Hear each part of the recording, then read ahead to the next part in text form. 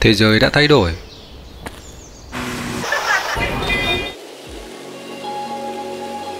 Bây giờ nó còn đẹp hơn.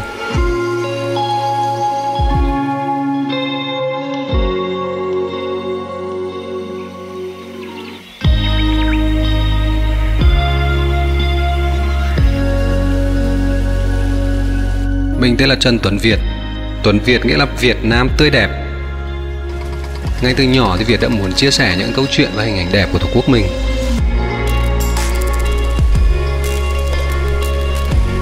Trong hai năm qua thì Việt đã chụp được rất nhiều bức ảnh mà trước đây mình bỏ lỡ.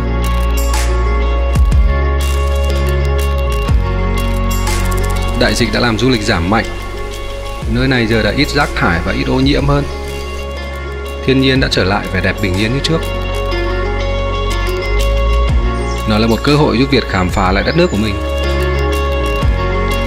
Một chiếc máy ảnh tốt sẽ giúp mình ghi lại được những kỷ niệm đẹp hơn. Trong hành trình đến Đà Lạt lần này thì Việt đã dùng hầu hết mọi tính năng của Galaxy S21 và mình thực sự ngạc nhiên về chất lượng của những bức ảnh.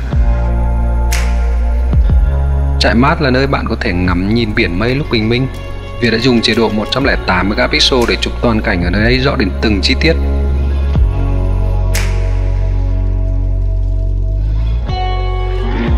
Hồ Tuyền Lâm là một nơi giản dị, lãng mạn và bình yên ở Đà Lạt.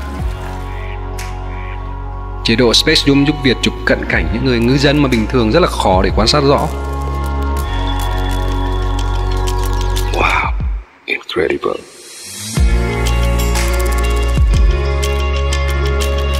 Chế độ Pro giúp những người yêu nhiếp ảnh nâng khả năng chụp ảnh lên cấp độ cao hơn. Chế độ này có hầu hết các tính năng một nhiếp ảnh gia chuyên nghiệp cần đến.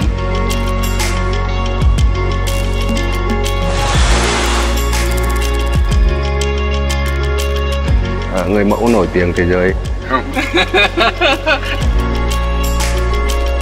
Trong cuộc sống thì có rất nhiều điều đẹp đẽ mà chỉ cần bạn chậm lại một chút sẽ thấy được rất là rõ.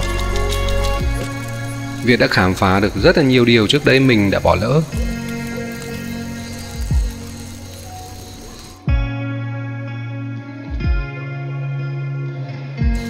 Hy vọng những bức ảnh Đà Lạt mà Việt chụp bằng Galaxy S21 sẽ tạo cảm hứng cho mọi người khám phá và chụp lại vẻ đẹp xung quanh mình.